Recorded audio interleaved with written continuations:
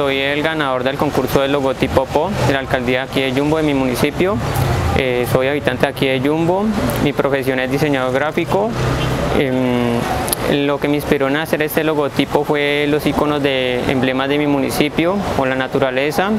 Eh, los quise expresar a través de los colores. es un logotipo moderno y también utilicé la parte gráfica eh, dando el contexto de ordenamiento como son figuras redondas y lineales. Quiero agradecer a la alcaldía y a las personas que dieron like en la publicación. Muchas gracias.